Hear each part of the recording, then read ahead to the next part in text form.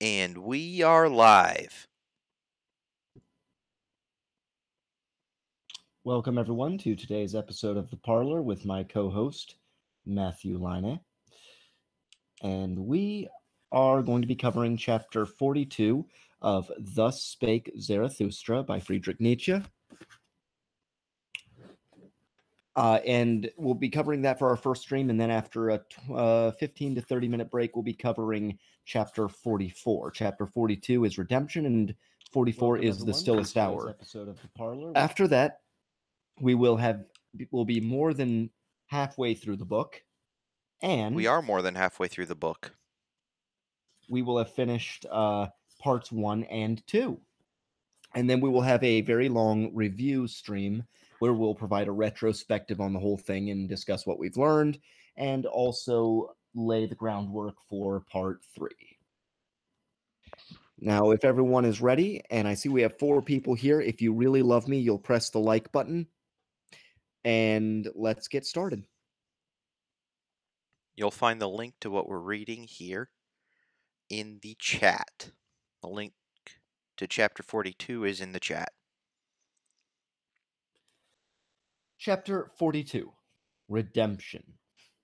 When Zarathustra went one day over the great bridge, then did the cripples and beggars surround him, and a hunchback spoke thus unto him Behold, Zarathustra, even the people learn from thee and acquire faith in thy teaching. But for them to fully be- to believe fully in thee, one thing is still needful. Thou must first of all convince us cripples. Here hast thou now a fine selection, and verily an opportunity with more than one forelock.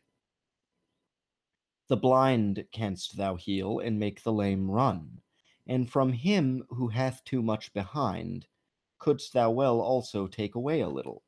That, I think, would be the right method to make the cripples believe in Zarathustra. So what we have here is uh, very obvious biblical imagery, but more importantly, what Nietzsche is doing here is he's having Zarathustra speak with precisely the sorts of people that Nietzsche has a problem with. And please keep in mind, these are not physically disabled people. This is a metaphor.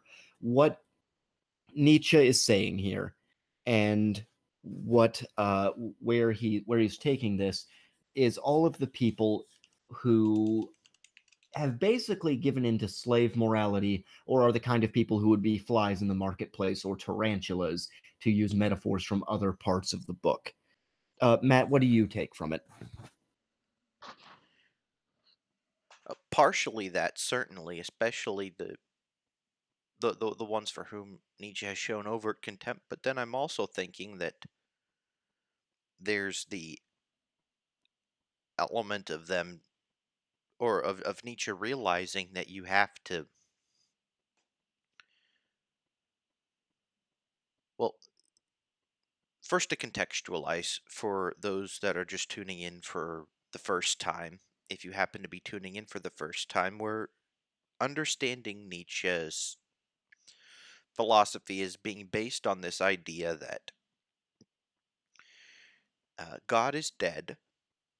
Uh, basically, modernity killed God. Modernity showed that there is no God, and therefore, the only thing that you can do in life is to make your own meaning. And the way that you do that is by constantly trying to surpass yourself, taking the loads and the burdens of life, going and attacking them, reducing them down to nothing. And then once you've kind of cleared the way for yourself, once you've gone and, and defeated the things that get in your way, then seeing the world through the eyes of a child, growing and producing and making new things and being as great as you possibly can be attempting to turn yourself into what he terms the Superman. So, the question is okay, what about the people that don't have as much to offer? What about the lame? What about the crippled? What about the people that can't do that for some legitimate reason? What do you say to somebody that can't, or at least that feels that he can't make strides in that direction because he's been dealt an unfair hand or a bad hand from the very beginning. At least that is predominantly how I see Nietzsche setting this up. Because ultimately, he can't go and say, okay, you need to go and try to become the Superman if you can't ultimately uh, set that up as a universal law for everybody. So clearly, there needs to be some explanation that suffices so that Nietzsche can, with you know, eh, Nietzsche can go and suggest that everybody go and become the Superman and still remain internally consistent within his paradigm.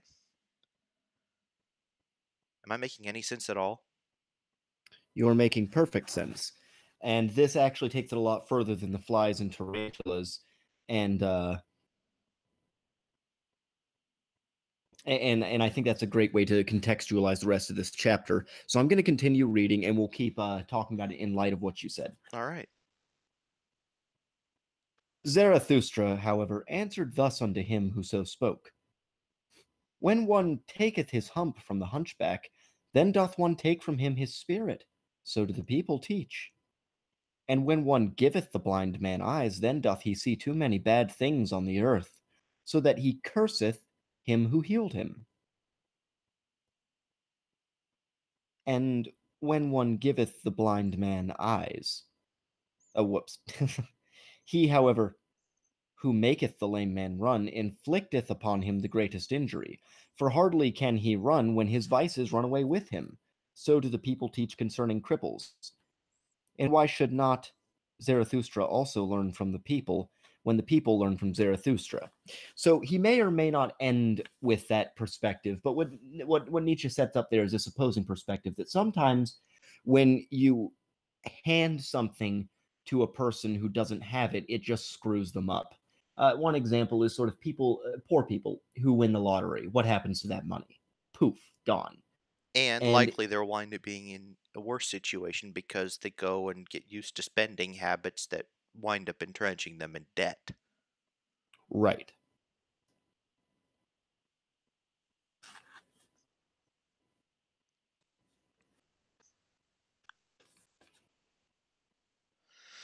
But then the question is ultimately, I mean that that that in a sense forces Nietzsche to clarify his position.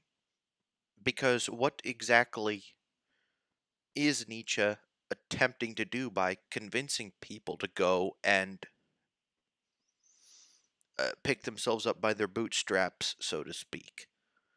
What what exactly does is is this entire message of his? Like how how is it actually relevant to the cripple, to the blind, uh, to the slow of mind, etc like there needs to be some sort of an underlying principle pulling it all together and that's kind of what nietzsche tries to get at or actually very clearly gets at toward the end of this chapter but i'm not going to spoil it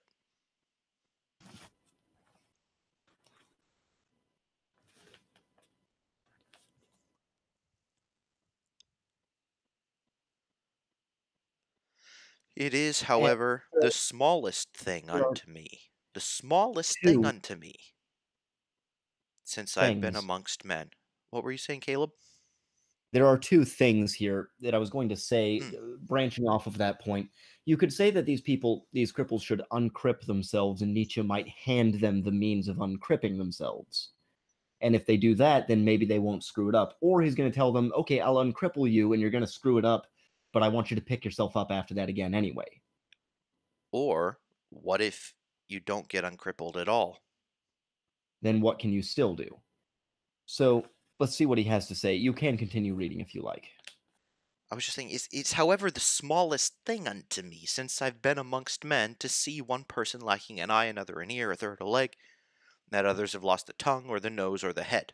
Of course, losing the head doesn't mean being decapitated, but just meaning kind of being slow up here, right? So, seeing deformed people especially in the days before modern medicine and vaccinations and so on, that kind of thing was pretty normal. You wind up having uh, people in really bad situations begging for alms and so on. people that have legitimately been dealt a very, very bad hand. And Nietzsche says, well, that doesn't really faze him. Or rather, it doesn't faze Zarathustra. And, and of course, because we're talking about Zarathustra as Nietzsche's ego, it doesn't really faze Nietzsche. But does that mean that he's not compassionate? What does that mean? It just means that he's not fazed by it. So why, Caleb, would he not be fazed by it? Well, because there must also be such people, and as long as they're here, they need a place. And that doesn't necessarily preclude them from being able to have a self actualized full life according to his paradigm. Clearly, it wouldn't. the only reason it wouldn't faze him is if it so- doesn't throw a monkey wrench into his view of what people should be doing. Right. And this, incidentally, is why I think that uh, gassing epileptics would not have been high on Nietzsche's list. He himself suffering from poor health.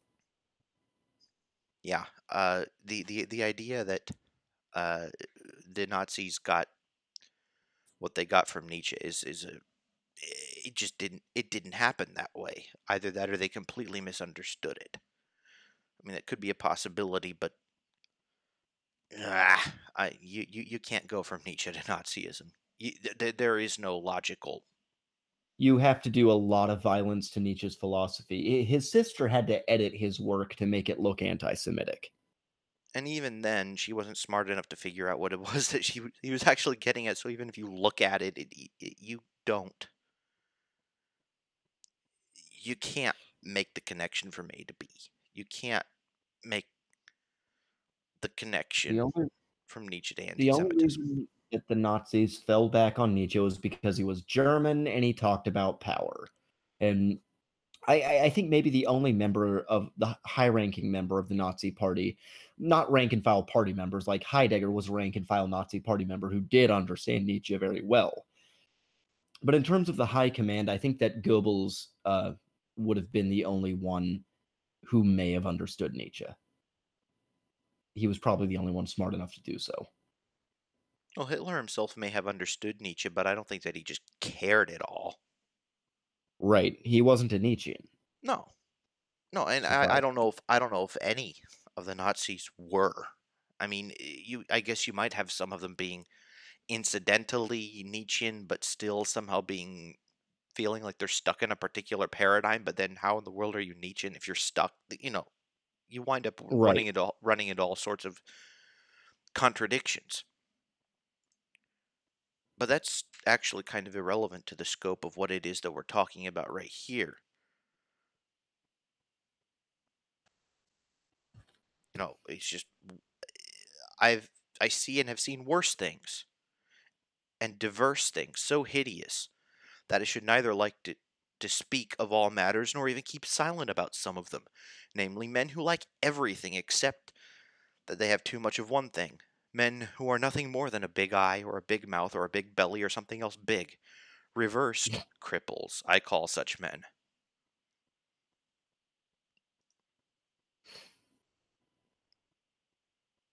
People who are so focused and specialized on one thing. I believe there's some point in this chapter who talks about a midget with a giant ear. Mm-hmm. And when I came out of my solitude,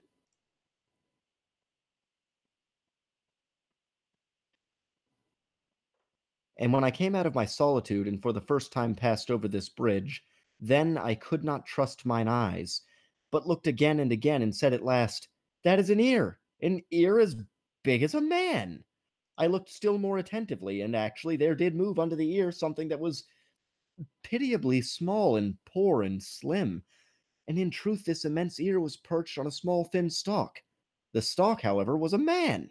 A person putting a glass to his eyes could even recognize further a small envious countenance, and also that a bloated soullet dangled at the stalk. The people told me, however, that the big ear was not only a man, but a great man, a genius. but I never believed in the people when they spoke of great men, and I hold to my belief that it was a reversed cripple who had too little of everything and too much of one thing. So, what would the giant ear be? A, a, a, person with a giant ear does nothing but listen, does nothing but hear, just captures everything that is said, and is extremely envious. What sort of person is that? Well, someone who can't synthesize anything for himself. If the, what the only reason you have to be envious of somebody else is because they have something that you don't. So, and, and the only way to legitimately get something,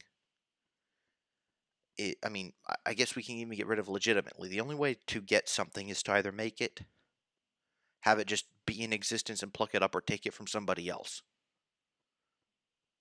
So, if all you're doing is hearing and hearing and hearing, you know, it's it's almost like the kind of a person. I know this would technically be eyes, but it's almost like the kind of a person that does nothing but read self-help books and doesn't actually help himself. Right. Someone and and I've met such people, people who are like a walking dictionary of quotations, which is fine. I'm one of those people. You know, I, I I've got pretty much a Nietzsche quote in my head for every occasion, but I also disagree with him heavily on certain points. And it's and you know, these people will make sort of overtures of critical thinking or try to look like they think critically, but really they're incapable of criticizing or synthesizing anything without some without some kind of intellectual micromanagement. And when they criticize one thinker, they're usually just giving you the criticisms they got from another thinker about the first one. Yes, and if they're loudmouthed about it, then you can say somebody with a big ear and a big mouth and a small brain.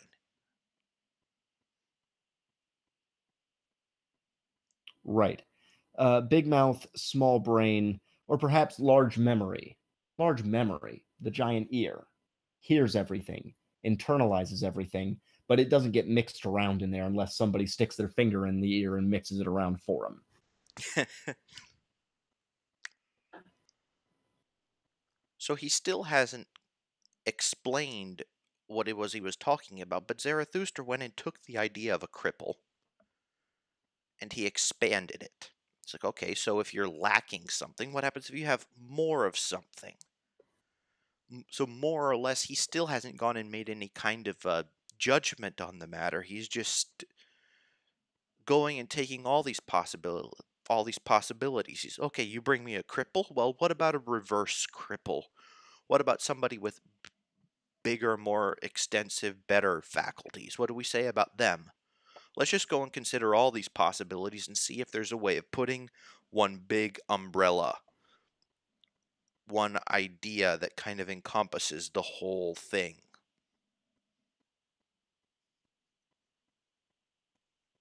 Right. And that's going to be a project that I suspect the rest of this chapter uh, will be will be pursuing. Hmm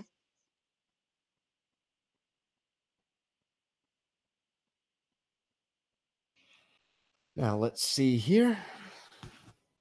Well, yes, uh, David Sanderson has a point here.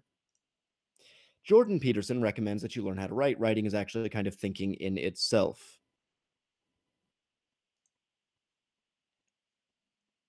Well, it forces you to articulate something precisely. It forces you to articulate something in the best possible way. And I've seen some of these uh, dwarves with giant ears who do write, but it's just regurgitation. Yes. And and the way that you can tell the person with a giant ear who can write from the person with a giant ear or just a normal sized ear and a functioning brain or or kind of one that one, one that can engage in original thought or that can engage in synthesis of some sort is that if and nowadays it's almost if you can go and read something on Twitter and it's coming out of somebody's mouth, or if you can go read something on Salon, or you could go and read something on um, uh, I don't even know, maybe the Atlantic or or or just the New York Times even, or Fox News or whatever. If if if you could hear whatever it is that you're hearing almost verbatim from another source with no nuance whatsoever and no capacity of giving anything other than the standard arguments for or against such a position, then you realize that you're dealing more with an ideologue or more with somebody that's not thinking for himself and just regurgitating the points as opposed to somebody that can give a nuanced response to whatever it might be that somebody brings up as an objection or a nuanced perspective to okay how is it that you deal with this very situation here? You know people they, they might even feel very secure in their own knowledge.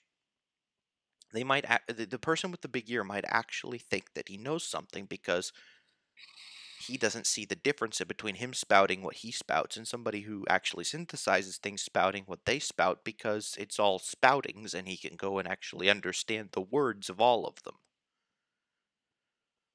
But the way that we can tell by looking as an outsider, as a third person into this situation, is the, is the one that can synthesize, is the one that maybe not necessarily can give an immediate response, but the person that can give an apt response. That's the person that's actually gone and done the legwork. That's the person that's actually gone and done the brain work. That's the person that's actually gone and internalized an idea and made it his own or not. You know, that has come to a conscientious decision to accept parts of things, to reject parts of things, and to, you know, have a more complex, rich, nuanced view of the world.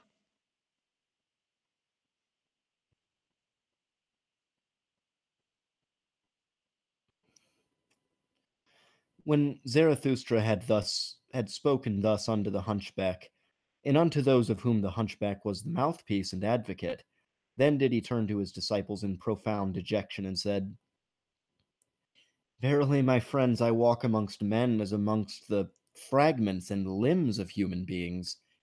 This is the terrible thing to mine eye, that I find man broken up and scattered about, as on a battle and butcher ground. Uh, battle and butcher ground. I don't know if it was written like that in the original. Oh, oh, oh yes. Uh, I don't know if it was like that in the original, but the German word for battle is Schlacht, which is uh, Schlachten means slaughter. So battleground and butcher ground are in German are kind of like this. Um,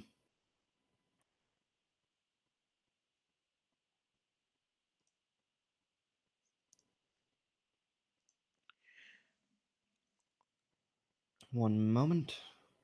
In the chat. Yes, I can tell you're trying to learn Norwegian during during a stream. Yes, I am. So, Well, multitasking is next to godliness. yeah. Exactly. But anyway, So, so, Um, so, the, so the basic idea is that Nietzsche is uh, remarking. I still wouldn't say uh, making any kind of a, a. I wouldn't say it would be a complaint, but it is a. He's he's now finally taking a, a judgment and saying, okay, what I really hate is when somebody isn't put together.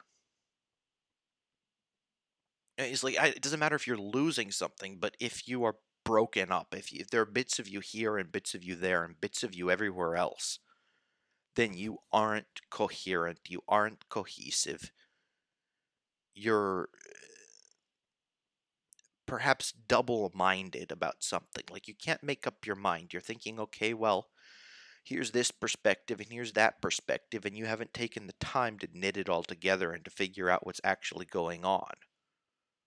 And there, as if you're in multiple pieces, you can't go anywhere and you can't do anything. You are stuck until you manage to put yourself together.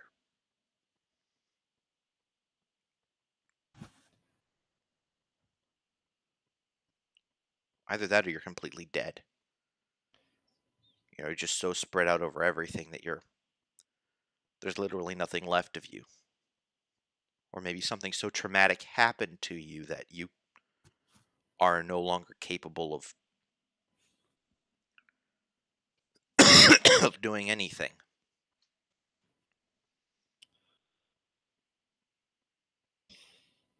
And when mine eye fleeth from the present to the bygone, it findeth ever the same fragments and limbs and fearful chances, but no men. The present and bygone upon earth, ah, my friends, that is my most unbearable trouble.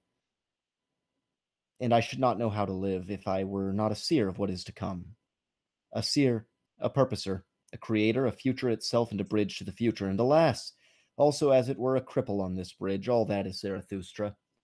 To reiterate the point from the, I believe it's the first chapter.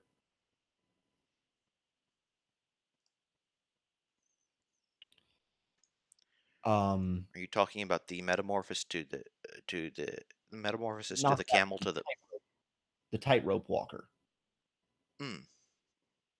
Because man is a rope stretched between the brute and the Superman over an abyss.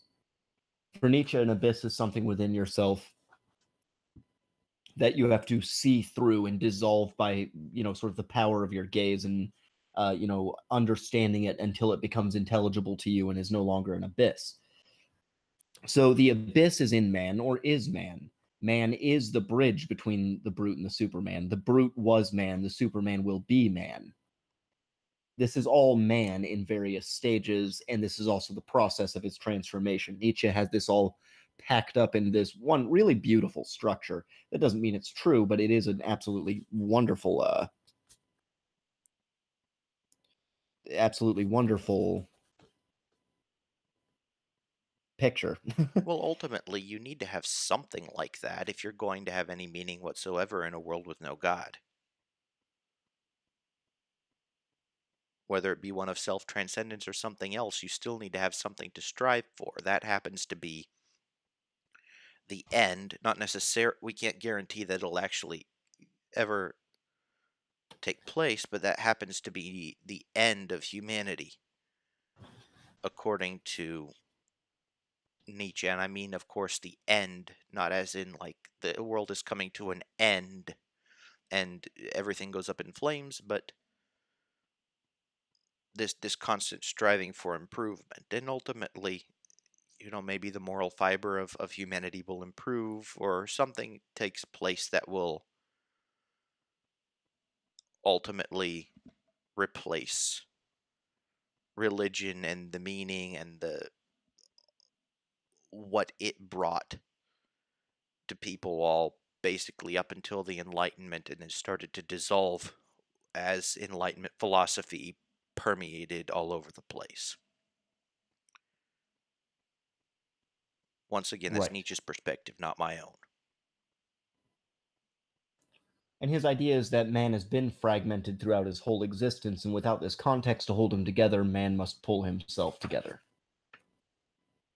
Exactly. So I think that he would, or at least it, it makes it would make sense for him to argue for the existence of some sort of a human nature, but that it might be kind of variable amongst mankind in terms of how far we all have developed toward the Superman and how far both uh, personal evolution, or you know, like genetic evolution and cultural evolution have taken us.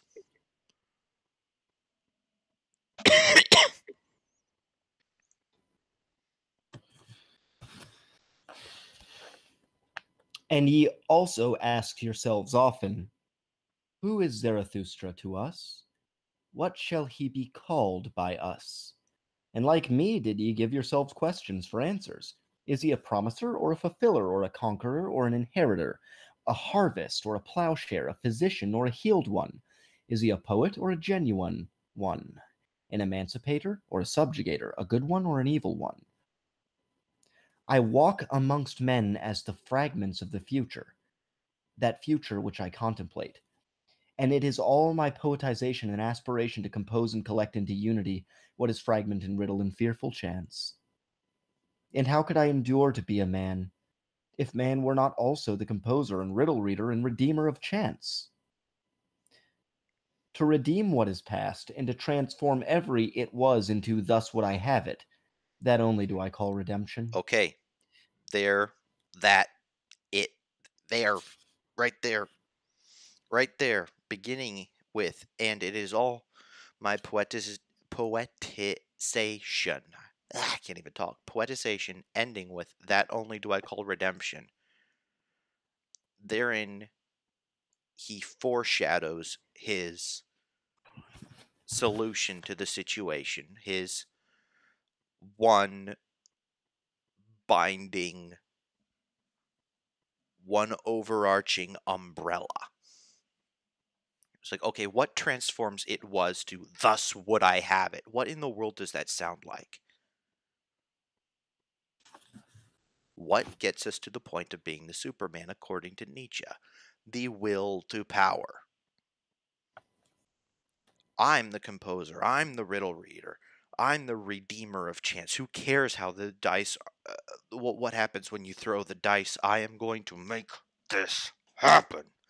And that is the will to power. Will. So is the emancipator and joy bringer called. Thus have I taught you, my friends. But now learn this likewise the will itself is still a prisoner. So, what we're struggling with, according to Nietzsche, isn't the hand that we're dealt, but we are struggling to master our own will. It doesn't matter if you're born with uh, two arms and one leg. It doesn't matter if you have a big ear or a small ear or no ear or a big brain or a small brain or a nose or you can't smell. All those other things are secondary and on a completely different order of magnitude than is the point of okay, what do I do with my will? I have my will. Now I need to cultivate it and I need to shape it and I need to make my will something that wills for the right thing and drives me regardless of what my circumstances are. That is what Nietzsche uses to tie all of this together.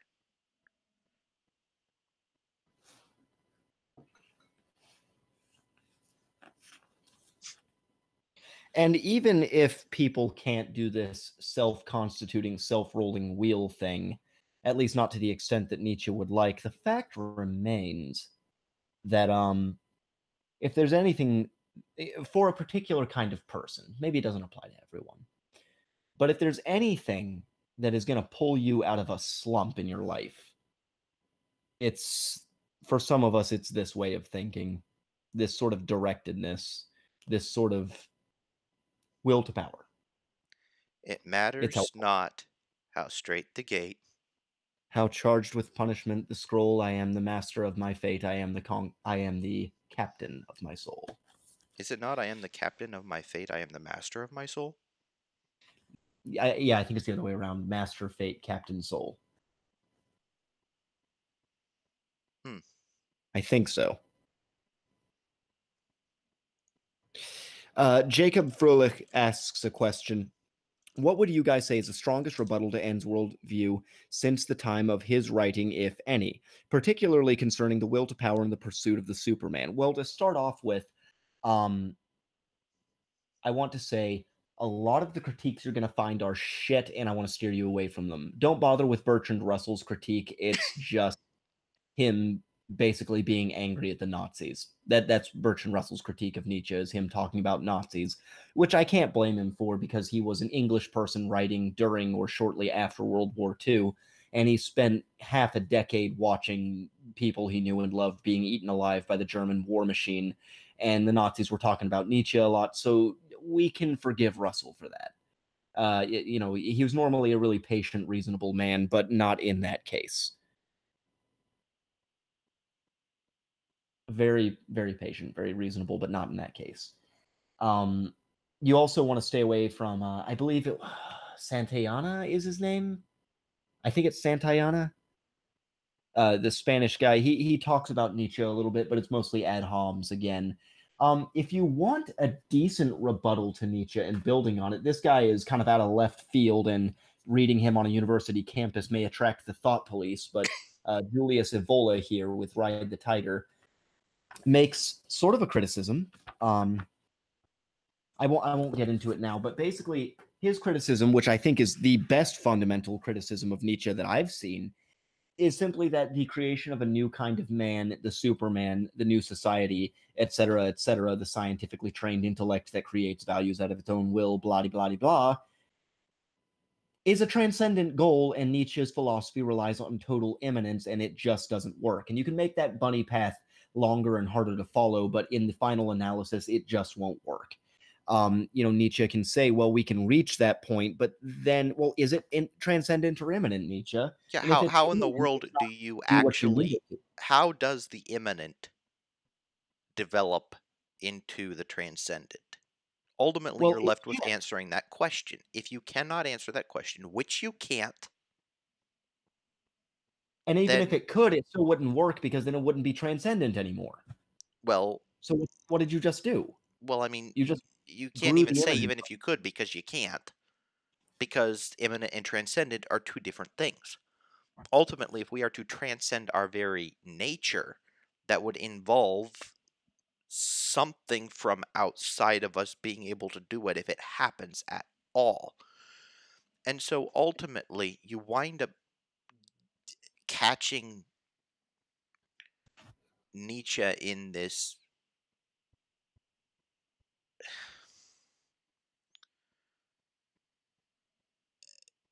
well, at, at, at the I, I hate phrasing it this way, but in the self contradiction. and it's not the kind of paradox that you can resolve by jumping levels. It's the kind of paradox that just stops everything dead because you got it wrong. It's it's an absurdity, not just a contradiction and absurdity. And the reason I would I would venture to say I can't be 100% sure. But the reason that Nietzsche goes for this idea is ultimately because he is an atheist, but he cannot fathom life going on without purpose. And there's this um a, newer book entitled The Atheist's Way Living Well Without the Gods. And it's an entire book that's kind of a watered down, weakened version of Nietzsche taken to a fifth grade level and brought into the late 20th, early 21st century, which basically says that you need to drag meaning out of your ass. It's the, it, It's it's Nietzsche the, written by the last man. yes, exactly. And we know how that winds up working based upon our stream yesterday, but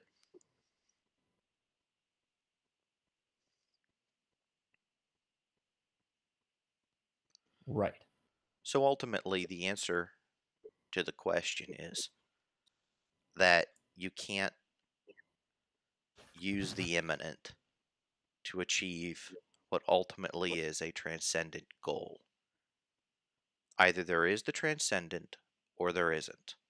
And if all you're left with is the immanent, your only choice after all of the options have been explored into their end point is abject nihilism.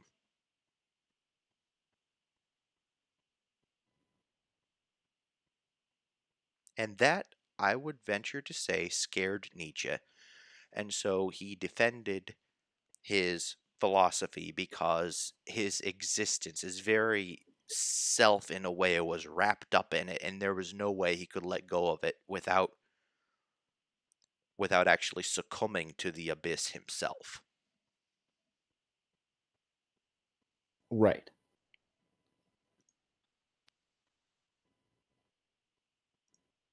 Willing emancipateth, but what is it that but what is that called which still putteth the emancipator in chains? It was. Thus is the will's teeth gnashing and lonesome tribulation called. Impotent towards what hath been done, it is a malicious spectator of all that is past. Not backward can the will will, that it cannot break time and time's desire, that is the will's lonesome tribulation. Willing emancipateth, what doth willing itself devise in order to get free from its tribulation and mock at its prison? Ah, a fool becometh every prisoner, foolishly delivereth itself also the imprisoned will. That time doth not run backward, that is its animosity. That which was, so is the stone which it cannot roll called. And thus doth it roll stones out of animosity and ill humour, and taketh revenge on whatever doth not. Like it, feel rage and ill humour. Thus did the will, the emancipator, become a torturer. and on all that is capable of suffering it taketh revenge, because it cannot go backward. This, yea, this alone is revenge itself, the will's antipathy to time and to its it was. Verily, a great folly dwelleth in our will, and it became a curse unto all humanity, that this folly acquired spirit. The spirit of revenge, my friends, that hath hitherto been man's best contemplation, and where there was suffering, it was claimed there was always penalty. And this is interesting here, especially because this is Nietzsche taking what I what I deduce is quite possibly the only, well, maybe not the only, one of the very few things he likes about Christian ethics, which is actually forgiveness. Just let go of it. The will cannot will backwards, so the will must no longer will to will backwards. When the will does not, not any longer want to will backwards, when it does not will to will backwards, it is emancipated from revenge, and that emancipates the will itself. The will is emancipated when it can emancipate. The, it is emancipated from the past when it emancipates the past from itself uh, letting go is freedom. It's it's sort of a there's a Buddhist metaphor here, uh, a hot coal. The Buddha called holding on to anger like gripping onto a hot coal because you're gonna throw it at somebody. Well, in the meantime, what's happening to your fucking hand? exactly. Bad idea. And so, even if you have every right in the world to be angry about the hand you're dealt, even if you have every right in the world to be resentful of everyone and everything, even if you're completely justified in that regard, it isn't going to do you any good.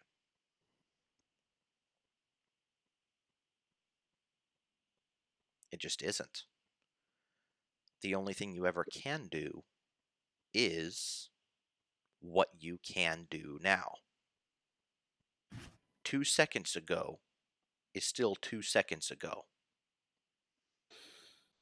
and that's actually, and if you don't mind me taking a little an, a, another short hop on the bunny trail, that's one Go of ahead, the regions that, that one of the reasons I like virtue ethics so much because there's it's it's always there's always a good thing to do. There's always a good thing to do no matter how rotten the situation is. And doing the good thing doesn't always guarantee a good result you can have crappy luck throughout an entire life. And with almost 8 billion people in the world, there are a handful of people that no matter what they decide, they're going to wind up being screwed. But over the course of a lifetime, behaving virtuously is worth it. You know, it's, it's like the psychopath that always lies to everybody. He can go and climb up the ranks of some corporation very quickly until he you realize that he's burnt all of his bridges and then he has to go jump ship and go someplace else and climb up really quickly and so he winds up ultimately not being able to do anything sustainable because he's not behaving in a virtuous way. Similarly, you might wind up having somebody toiling and doing the hard thing, the hard thing over and over again, but doing it because because it's the right thing to do. Not getting a break, not getting a break, not getting a break, not getting a break, not getting a break. And then one day, when the break does come, simply on account of being virtuous and taking the right course of action, they will take the right course of action when opportunity is in their lap, and then they'll be able to make the most of it that they wouldn't have been able to do had they not gone and developed themselves to being more virtuous. I'm not making any promises to results, but I am saying that living a virtuous life is the best thing you can do. And Nietzsche would agree, except his virtues are different than mine. Nietzsche being a philologist and thus being very, very in touch with uh, ancient conceptions of morality and virtue. And, you know, the, ontology and consequentialism that have dominated Western thinking since the Enlightenment are starting to break apart. It wasn't until the mid 20th century, I believe, when virtue ethics began to be taken seriously again. And that was another crack in the great wall of uh, of modern thinking. The fact that virtue ethics is now being taken seriously, which it should have been, because in my view, it's the only sensible way to do ethics. But, But that also relies on the existence of a transcendent good, some, something that is inherently good in and of itself, regardless of any kind of consequences. Virtue ethics are transcendental. Right, right, and I mean, I guess you could make an argument that this sort of Kantian deontology is closer to a virtue ethics than uh, than consequentialism, in as much as Kant has this his categorical imperative and Yeah, so on. But even but remember that uh, Kant's epistemology strictly forbids that from being transcendental in any way. And and the problem of grappling Exactly. with with, with uh, you know or, or does it? I, I mean, Kant is balanced on a knife edge, and that's a whole can of worms that maybe we shouldn't get into. but but but still,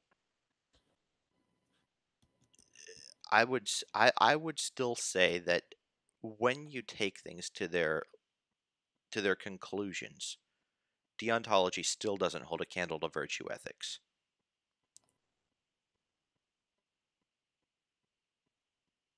It doesn't, and that's because this this sort of uh, the goodwill, the right action, ultimately breaks down to what's appropriate in the circumstances. And I think that saying that something that is representative of what the good man does, the virtuous man, is it's going to cash out a lot better. And more to the point, virtue uh, virtue ethics, if you take it as the ethical part of your philosophy and go ahead and let it interact with everything else in your philosophy, you end up with better stuff all around. For example, a virtue ethical approach to, to epistemology, and there is an ethics of epistemology, mind you, will will result in saying that an epistemology is good partially one of the conditions is insofar as it tends to lead to true beliefs. Adoy? And when you Um, abstract epistemology, it doesn't do that anymore. Would you mind, Caleb, giving us a little bit of a rundown just in case people are new to the stream or what have you of the difference in between consequentialism, deontology, and virtue ethics?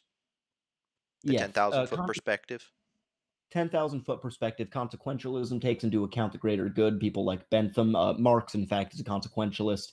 Uh, John Stuart Mill, propounders of classical liberalism. Locke probably is a consequentialist.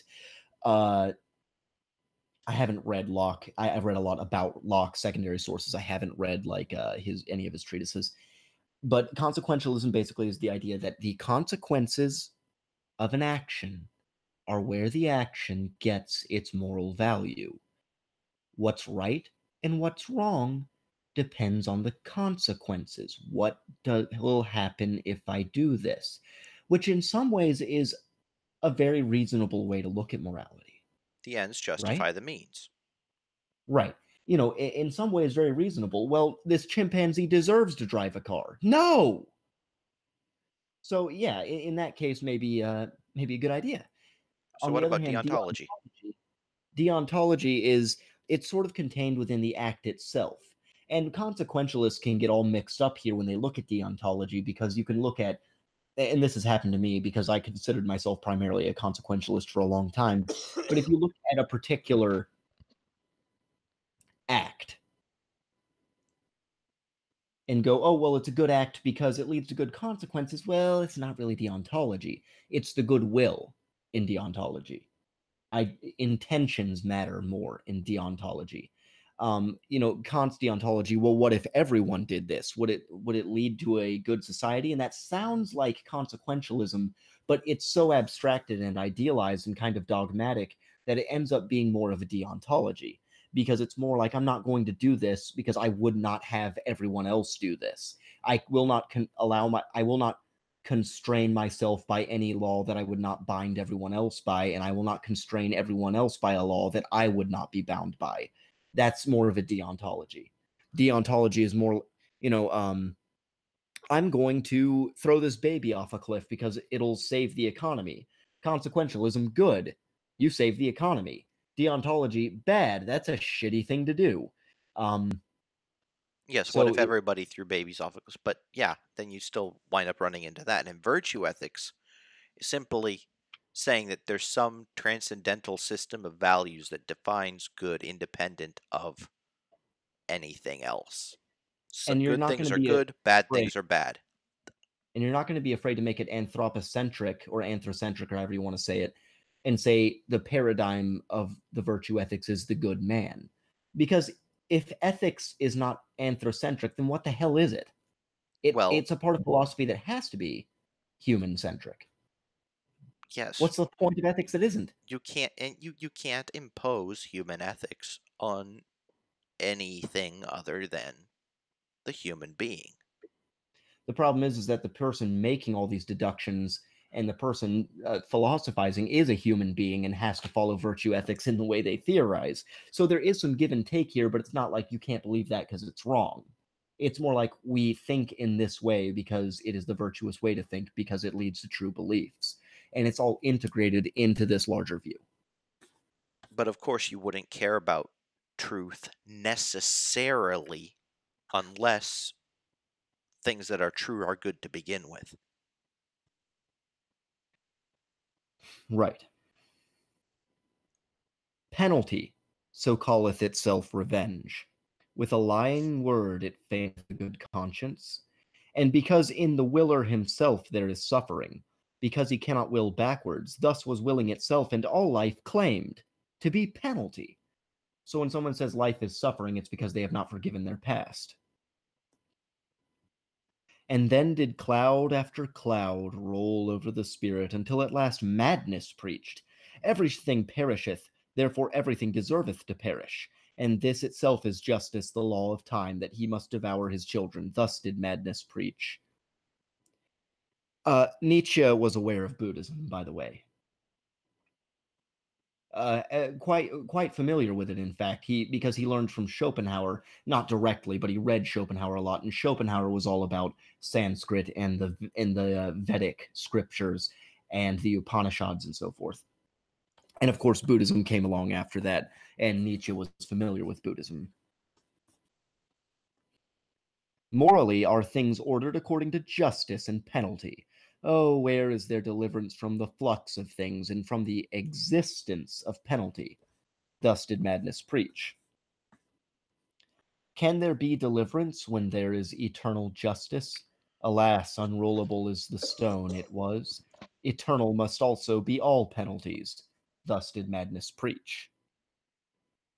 No deed can be annihilated. How could it be undone by the penalty? This, this is what is eternal in the existence of penalty.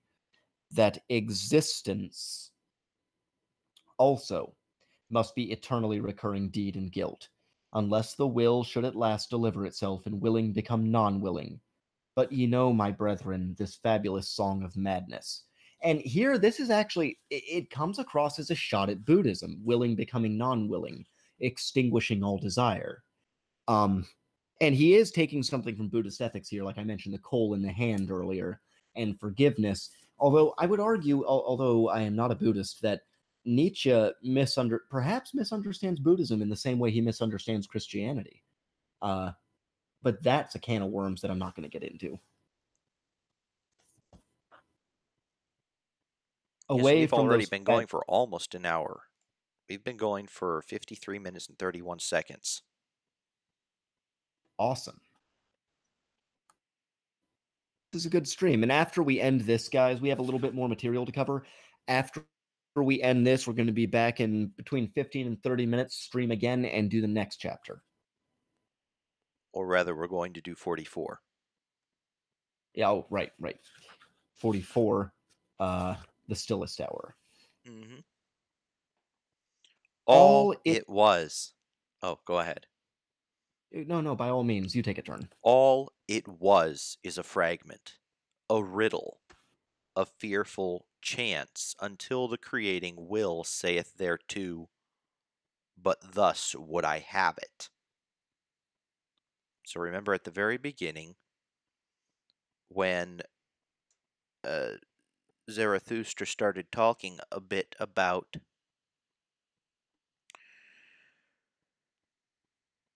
How could I endure to be a man if man were not also the composer and riddle reader and redeemer of chance? So now we go back to this last little bit. And the lucky number and the barrel rider. Oh, sorry. Yes. Uh, penalty, no deed, will deliver.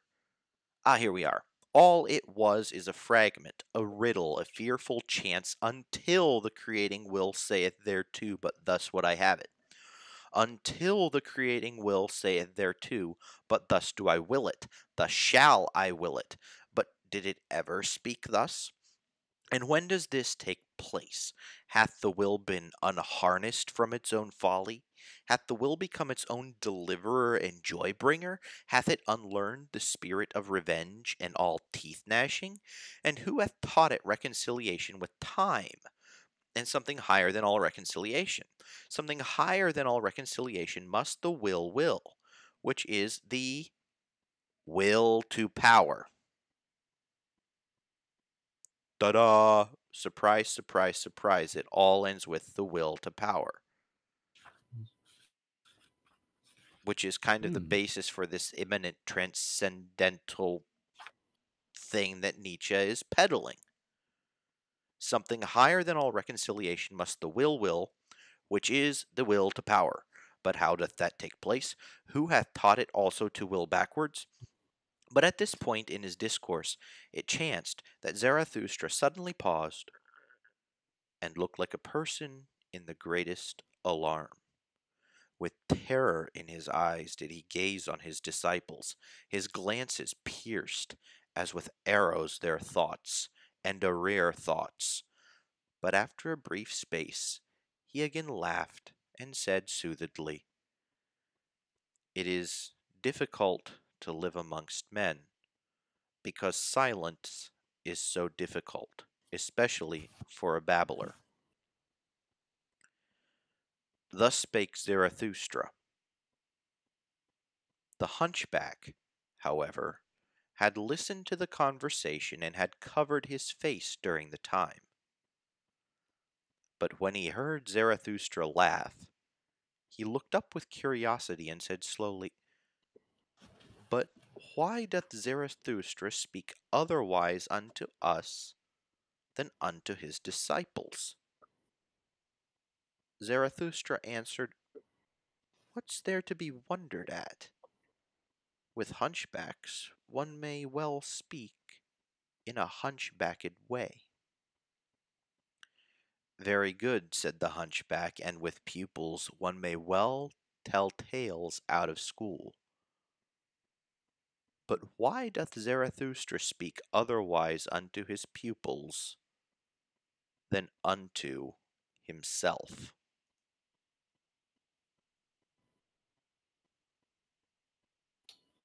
And notice that doesn't end with thus spake Zarathustra. It ends with the words the hunchback. Why does he speak otherwise unto his disciples and unto himself?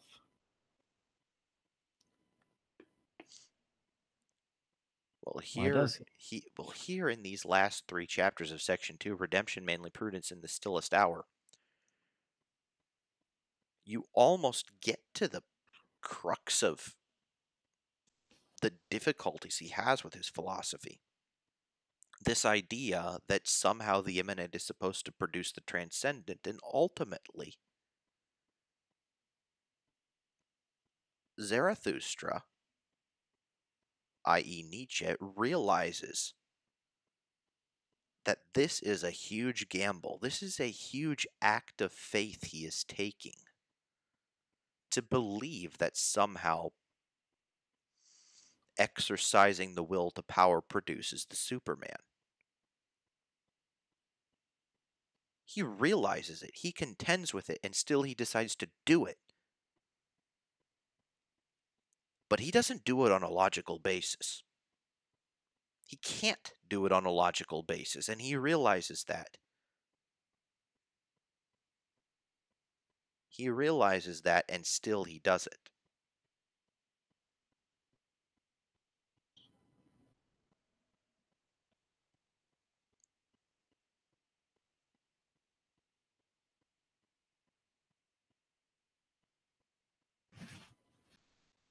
Right.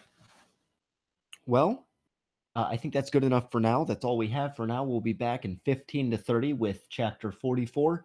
And uh and we'll see you in a few. Thank you everyone so much for showing up and hitting that like button. It means a lot to me. I hmm, I love you dearly. That's all we have for now. Until next time.